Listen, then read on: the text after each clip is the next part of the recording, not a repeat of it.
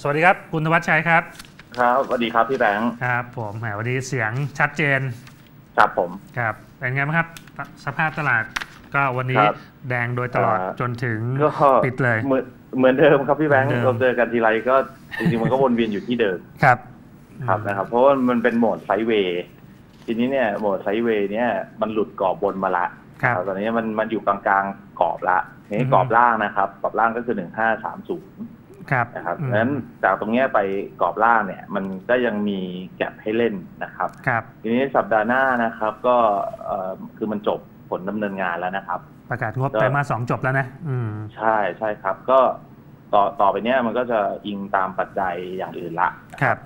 อ่าโดยผลดำเนินงานนะครับ คือโดยรวมเนี่ยมันก็น่าผิดหวังอือฮึนะครับครับอืมงั้นมันก็เลยสิ่งที่เกิดขึ้นก็เลยเกิดประกาศงบเสร็จก็เซลล์ออดแฟกเทขายครับ นะครับอ่าตอนตอนนี้มี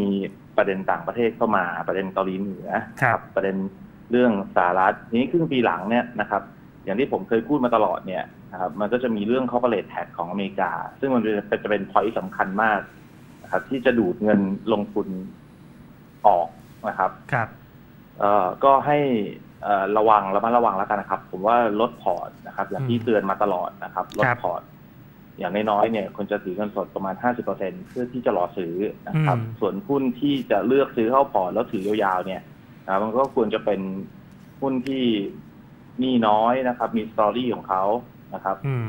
ครับ ก็อย่างที่ผมแนะนำมาตลอดอะนะครับ ก็ยังคงแนะนำต่อนะครับ อย่างวันนี้ยูแอนก็ประกาศงบออกมานะครับ ก็เอ่อโตขึ้นเยือนเดียวก็ 14%นะครับ ตัวยูแอนนะครับครับก็แนวโน้มก็ดี ก็ แนะนำให้ถือต่อไปไตรมาสสามนะครับครับอ่า TK TK ก็ออกมาดีนะครับ ดีในระดับสิบกว่าเปอร์เซ็นต์เยอนเยียครับนะครับก็แนะนำให้ถือต่อนะครับอือฮึส่วนบีแลนเนี่ยก็น่าจะออกไม่คืนนี้ก็สัปดาห์หน้านะครับอือฮึก็ผมก็ยังมองแนวโน้มผลดำเนินงานของบีแลนเนี่ยครับจากจากเนี้ยไปนะครับนะครับ มีโอกาสโตขึ้น เพราะว่าเขามีโครงการใหม่ที่รอรับรู้รายได้ค่าเช่านะครับ ครับแล้วก็จะมียังมีไอเทมพิเศษ รายได้จากการขายที่ดินเนี่ยอยู่สองปีต่อจากนี้นะครับ ก็ในระดับหมื่นล้านก็จะทยอยนะครับ อย่างไตรมาสเนี้ยก็น่าจะมีประมาณสองพันล้านนะครับ มันก็จะเป็นอันนี้เป็นรายได้นะครับ ก็จะเป็นกำไรล็อตแรกอาจจะน้อยหน่อยนะครับประมาณห้าเปอร์เซ็นต์นะครับ แต่ว่าก็จะช่วยทำให้ผลดำเนินงานในแต่ละไตรมาสมันดีค่อยๆดีขึ้นนะครัรับครับงั้นหุ้นที่ผมแนะนำให้ถือได้เนี่ยนะครับ เป็นสามตัวเหมือนเดิม u v a n TK b l a n เอ่อ มีอีกตัวหนึ่งทิพยะทิพยัตนะฮะทิพยะก็ออกมาแล้วนะครับครับเอ่อออกมาโต ก็โตกว่าเดิมครึ่งปีแรกก็โตกว่าเดิมนิดหน่อยนะครับครับ แต่ว่าก็ถือรับปันผลนะครับ เพราะอยู่ในระดับเจ็ดเปอร์เซ็นตนะครับ ครับ ก็สี่ตัวที่แนะนำให้ถือนะครับ ครับ ครับ ส่วนพอร์ตพอร์ต block trade พอร์ต TFEX นะครับครับ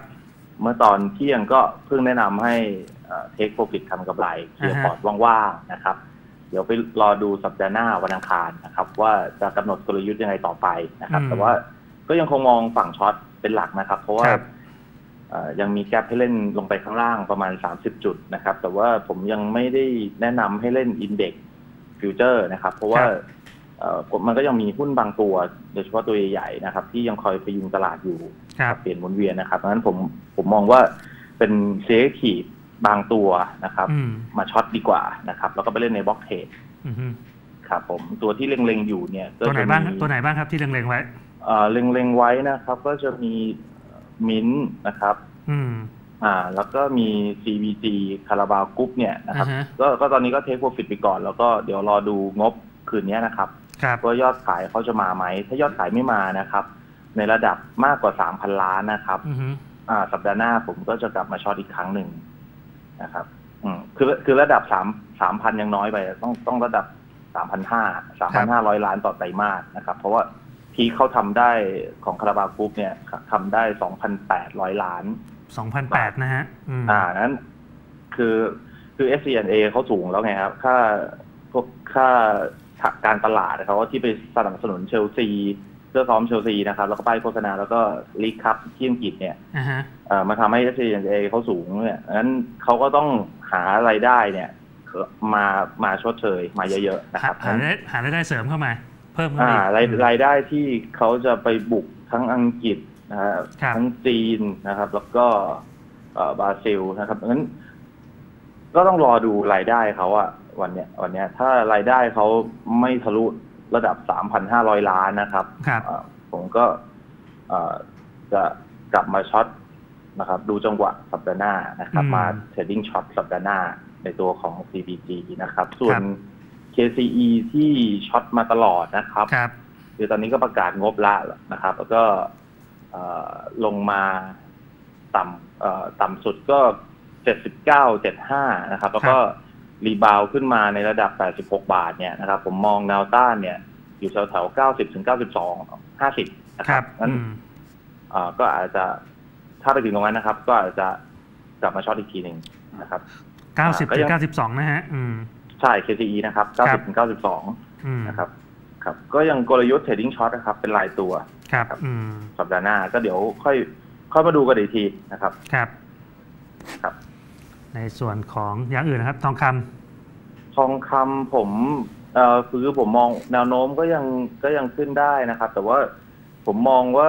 ทองคำกับค่าเงินเนี่ยมัน against กันเนี่ยครับครับค่าเงินบาทเราครับ ผมว่า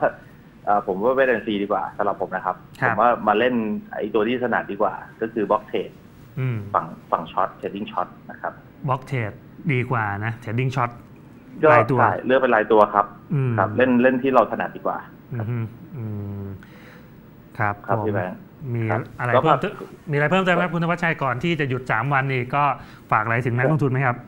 ก็ครับเที่ยวให้สนุกครับเที่ยวจให้ริงสนุกๆผมก็แนะนำเนี่ยอย่างวันเนี้ยที่ที่ผมแนะนำลดพอร์ตตั้งแต่ตอนบ่ายนะครับอ่าฮะโดยเฉพาะ block trade นะครับคือเคลียร์พอร์ตไปเลย จะได้เที่ยวสนุกไงครับสามวันนี้จะได้ไม่ต้องมาพะวงพอร์ตว่าเอ้ยต่างประเทศจะเป็นยังไงนะครับ มันเปิดมาแล้วพอร์ตจะพอร์ตโดยเฉพาะ block trade นะมันมี leverage พี่แบงค์ครับดังนั้นผมก็เลยอะ มีกำไรอยู่ในมืออยู่แล้วนะครับ ก็ take profit ไปแล้วก็อ่าตัวตัวที่ stop loss ก็ต้อง stop loss ไปนะครับ แล้วก็ทำพอร์ตโล่งๆ แล้วสัปดาห์หน้ามามาเริ่มกันใหม่ เพราะมันเป็นพอร์ต trading ไงครับครับ ส่วนอืมเอ่อพอร์ตหุ้นเนี่ยนะครับ อ่าพูดเอ่อลืมเลยดีอย่างบีแลนะครับ ราคามันก็หลุดบาท80นะครับ ก็อืมมีหลายท่านที่ซื้อไปแล้วก็กังวลนะครับครับก็คือถ้าในพอร์ตหุ้นนะครับ ไม่ต้องกังวลถือยาวๆแนะนำถือยาวๆอยู่แล้วนะครับ เพราะว่าแนวโน้ม ผลดำเนินงานของเขาว่ามันจะค่อย ๆ ดีขึ้นนะครับ เพราะว่าล่าสุดเนี่ยเขาก็เปิดเอ่อ factory outlet นะครับมันก็จะเป็นเอ่อเปิดพื้นที่เช่าอะครับครับซึ่งจะเสร็จประมาณเดือนธันวาดังนั้นก็หมายความว่ามันจะมีโครงการที่จะมารับรู้รายได้เนี่ยในช่วงไตรมาสสี่เพิ่มขึ้นอีกนะครับ แต่ว่ามันจะเห็นผลในไตรมาสหนึ่งแหละ เพราะว่าเขาสร้างเสร็จช่วงธันวาพฤศจิกาธันวาปีนี้ครับนะครับงั้นเขาจะมีโครงการแบบนี้นะครับ ที่เพิ่มพื้นที่เช่าให้เขา ครับในโซนเมืองทองนะครับครับแล้วก็มีดิวเอ่อเรื่องของที่คุณอนันต์เขาประกาศในที่ประชุมผู้ถือหุ้นนะครับในเรื่องของโครงการที่เป็น mixed use เอ่อพื้นที่เช่าเนี่ย ประมาณ5 0 0แสนถึง6 0แสนตารางเมตรซึ่งมันใหญ่มากนะครับ แบบเนี้ยนะครับ ก็ต้องรอความชัดเจนอันนั้นผมก็เลยมองว่ามันเป็นหุ้นที่ถือได้นะครับ งบงบก็สวยนะครับหนี่ก็น้อยแล้วก็มีโครงการที่ทยอยเสร็จเนี่ยในปีนี้นะครับอืมอย่างต่อเนื่องนะครับ แล้วก็มี ลุ้นโปรเจกต์ขนาดใหญ่นะครับอือฮึครับครับผมก็แนะนำให้ถือสบายใจได้นะครับคือคือก็ในตัวให้ถือดีแหละยาวยาวต่อไปนะก็หนึ่งบาท